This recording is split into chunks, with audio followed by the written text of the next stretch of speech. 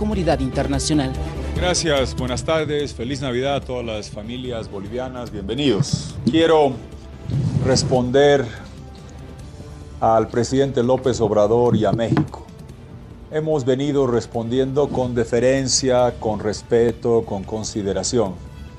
Y creo que el señor López Obrador, este cínico sinvergüenza, se pasó de bellaco con Bolivia, porque ha confundido nuestro respeto, nuestra deferencia con cobardía. Y es bueno que no se equivoque, que no venga a matonear a la segunda presidenta mujer de la historia de Bolivia, Yanine Áñez, que está hecha de madera veniana que ni se dobla ni se quiebra. Entonces, señor López Obrador, es hora de hablar claro. Usted claramente, usted ha decidido ser el padrino de los tiranos latinoamericanos.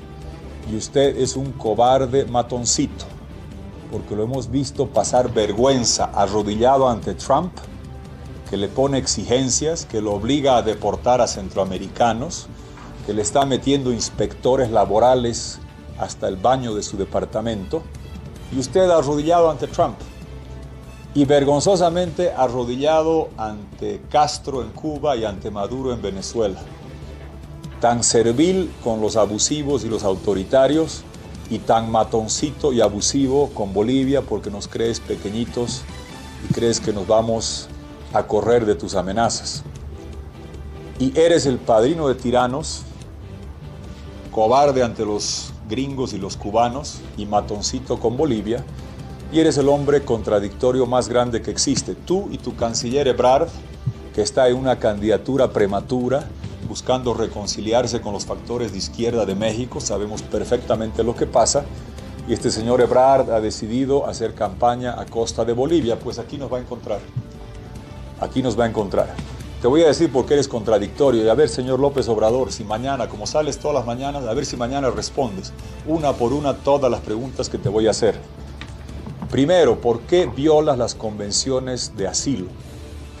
Tanto la de Montevideo como las internacionales señalan que un asilado, tú lo asilaste Evo Morales, no puede hacer declaraciones de corte político y menos llamar a, o instigar actos de violencia como Evo Morales hizo desde México, convocando a dejarnos sin gasolina, sin comida, a quemarse en cata, que pudo ser un accidente eh, de, proporciones mayúsculas y apocalíptico. Y tú permitiste que eso haga Evo Morales desde allá cuando estuvo allá, violando las convenciones de asilo. Responde López Obrador, ¿por qué permites, por qué permitiste que México se use para instigar y fomentar violencia ah, en Bolivia contraviniendo las convenciones internacionales? Segundo, López Obrador, responde si puedes, si tienes la valentía. ¿Por qué violas la doctrina Estrada de no injerencia habiendo cometido la injerencia más grande que se ha visto de parte de un país hacia otro. Tercera pregunta para ti, López Obrador, cobarde matoncito. ¿Por qué tú estás apañando el narcotráfico? México sufre el narcotráfico. Los distribuidores de cocaína más grandes del mundo están en México. Chapo Guzmán, cartel de Sinaloa, Jalisco Nueva Generación. ¿Y de dónde viene la cocaína? De Sudamérica, ¿Y de dónde viene la principal cantidad? De Evo Morales en el Chapare, el productor de cocaína de 35 años, que la manda a la Argentina, que la manda a Brasil y la manda para allá. ¿Y por qué estás, por qué cobijaste el narcotráfico? Con una mano, López Obrador responde, ¿por qué con una mano soltaste al hijo del Chapo y con la otra mano cobijaste al productor de cocaína Evo Morales? ¿No te da vergüenza? ¿Por qué? Cuarta pregunta cobijaste y asilaste al fraude, tú López Obrador, que te la pasaste años reclamando y denunciando que te habían hecho fraude el 2006 y el 2012, nunca lo probaste. Aquí está aprobado, certificado, verificado por un informe de la OEA, un fraude caligráfico manual, un fraude informático, fraude en Argentina, una vergüenza. Y tú cobijando el fraude después de denunciarlo. ¿Por qué? ¿Por qué eres tan contradictorio? ¿Por qué eres tan cínico y tan sinvergüenza? Tú, que eres de México, quinta pregunta, López Obrador, el país del sufragio efectivo, no reelección, no hay reelección en México nunca jamás. Y Evo Morales estaba violando la constitución en su tercer mandato, desconociendo el referéndum, buscando un cuarto. Y tú cobijas y proteges al fraudulento que se busca perpetuar para siempre. Nos, López Obrador, tú vas a postular el 2036 en México a la presidencia por cuarta vez, como estaba intentando hacer Evo Morales, violando la constitución y el referéndum que votamos acá. A ver si puedes responder eso, a ver si dejas de mandar a tu gente a agredir a Bolivia, a decirnos de facto cuando tú eres el padrino de los tiranos. Eres una, y no solo que estás rompiendo las convenciones de asilo, violando la doctrina Estrada, apañando el narcotráfico, cobijando el fraude, arropando al prorroguismo, sino también que estás buscando robarte la CELAC, ya no seas ladrón.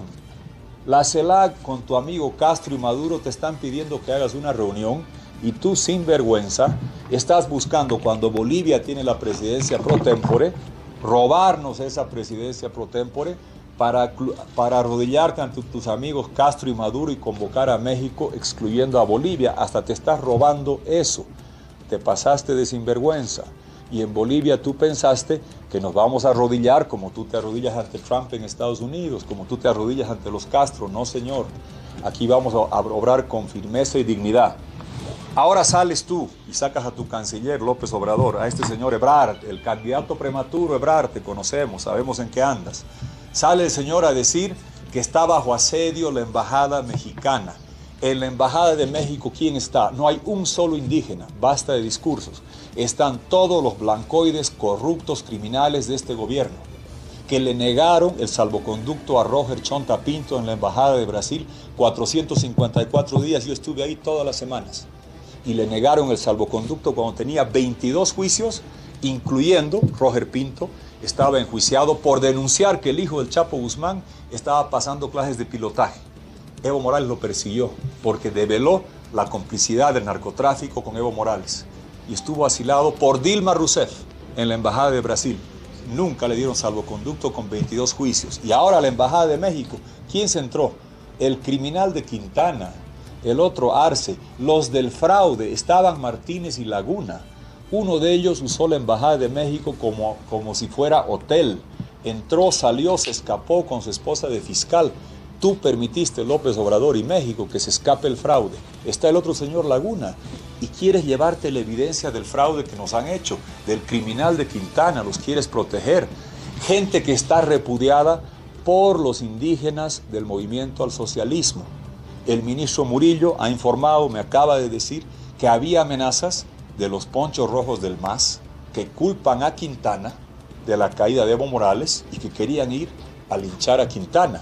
Y aquí está, la Cancillería me manda tres cartas, 15 de noviembre, 19 de noviembre, 29 de noviembre, tres cartas de la Embajada de México pidiendo a la canciller Karen Longarich mayor resguardo policial, mayor seguridad. La canciller, como corresponde a un Estado de Derecho, le traslada al ministro, refuerza la seguridad. Y ahora el sinvergüenza mentiroso de López Obrador sale a decir que está bajo asedio su embajada. Él, bueno, a través de su canciller, el candidato prematuro Ebrard. Después de tres veces por escrito pedir refuerzos, porque estaban temblando, estaban asustados, y Murillo, como corresponde, le da los refuerzos. Imagínense si baja una turba de ponchos rojos y queman la embajada de México o asaltan a Quintana. ¿Qué estarían diciendo ellos? Que Bolivia no cumplió con su responsabilidad apegada a los convenios internacionales. La canciller Longarich, el gobierno de Yanine Áñez, Murillo han cumplido con los pedidos escritos y son tan cínicos y sinvergüenzas, este candidato prematuro Ebrard, que ahora dice que nos va a denunciar a la Corte Penal Internacional por el asedio a la embajada cuando tres veces piden resguardo policial, acogiendo a los criminales de Quintana y los fraudulentos de Martínez y Laguna, permitiendo que se escondan.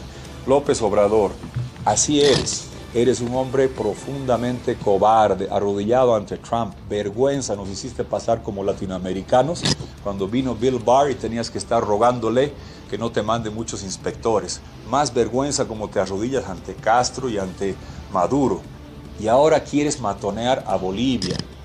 hablando de gobiernos de facto, es una sucesión constitucional, segunda mujer presidenta en la historia de Bolivia, primera canciller mujer en la historia de Bolivia. Y este cobarde ante los gringos, cobarde ante los cubanos, cobarde ante Maduro, como es López Obrador, viene a pretender matonear a dignas mujeres bolivianas que están liderando un gobierno de transición convocando a elecciones. Vergüenza debería darte, no solo que eres eh, arrodillado ante Maduro y ante Castro, sino que te la pasas de machista buscando matonear, pero te arrimaste a mal palo. La presidenta Janine Áñez hecha de madera veniana, no se dobla ni se quiebra, no te va a ir bien. Y te vas a querer robar CELAC, no te va a ir bien. Entonces intenta López Obrador si puedes responder por qué violas la doctrina Estrada, por qué permitiste que se rompan o se contravengan las convenciones de asilo, por qué apañaste el narcotráfico, por qué refugiaste al fraude, por qué apañas la corrupción prorroguista de Evo Morales y por qué estás protegiendo a criminales en tu embajada y por qué eres tan cínico de pedir al gobierno y que el ministro, el ministro Murillo te dé más protección y después salir a quejarte a la Corte Penal. Y si quieres ir a la Corte Penal, qué bien, López Obrador, cobarde matoncito, ahí nos vamos a ver, porque tú permitiste que Evo Morales llame a dejarnos sin gasolina y sin comida, crímenes de lesa humanidad. Tú permitiste que desde allá, desde tu país, se llame a quemar y, y volar la planta de Sencata. Tú fuiste cómplice de actos reñidos con la convivencia pacífica y tú vas a tener que responder. Ahora se quiere victimizar. Y sabemos que López Obrador todas las mañanas hable, pásenle este video México, ojalá que tenga la valentía de responder, que no se esconda detrás del candidato prematuro Ebrard, que está buscando ganarse ah, el apoyo de los castristas, comunistas de México a costa de pisotear a Bolivia, porque así son. La foto de López Obrador es arrodillado ante Estados Unidos, arrodillado ante Castro y pretende agarrar a patadas a Bolivia y a Janine Áñez. No vas a poder no te va a ir bien. Responde las preguntas si tienes un mínimo de hidalguía. Ojalá que te atrevas, pero estoy seguro que te vas a esconder y mandarme gente que me insulte. Bienvenido. Aquí vamos a estar los bolivianos. Te pasaste de sinvergüenza, te pasaste de cínico y te pasaste de cobarde matoncito López Obrador. Eres una vergüenza para México y para América Latina.